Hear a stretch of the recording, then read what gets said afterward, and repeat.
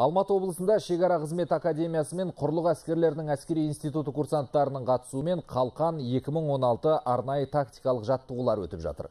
Отан қорғаушылардың алған білімі мен ұрыс қимылдарын меңгеру деңгейі сынға түскен сәтті тілшілерімізде көріп қайтты.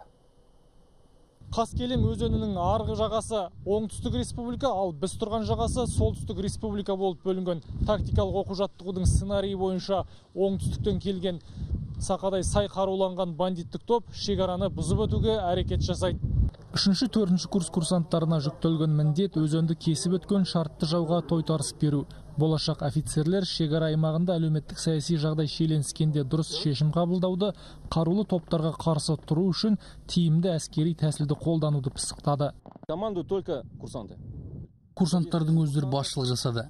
Офицерлер тек жаттығу жетекшісінің орынбасарлары ретінде ғана қатысып курсанттардың іс әрекетін бағалады.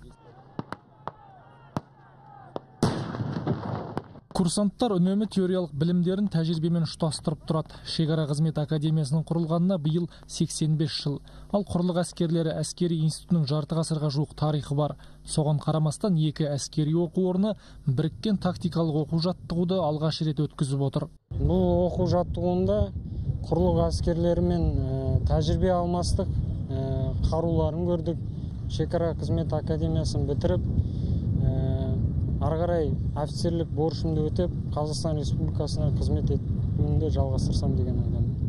Шекара қызмет академиясы жетекшілерінің айтуынша тактикалық оқу жаттығу ертең қорытындыланады. Кемшіліктер мен тиімді тұстары ескеріліп курсанттардың оқу бағдарламасына тиісті өзгертулер енгізілетін болады. Ұлан нарынбек кенже амраев жиырма төрт кз алматы облысынан.